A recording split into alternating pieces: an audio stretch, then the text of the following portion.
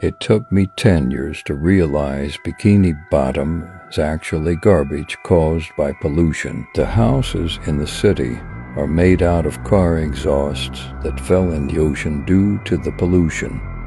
But that's not all. The city is loaded with trash. Look at this rusty anchor that fell off a boat. The Krusty Krab is an abandoned crab trap that fell to the bottom of the ocean. And the reason Krabs owns it is because he was trapped inside it. Glove World is gloves that were used for goot and fish. And SpongeBob's house. A refreshment. And check this out. The bank, it's literally a boat storage barrel.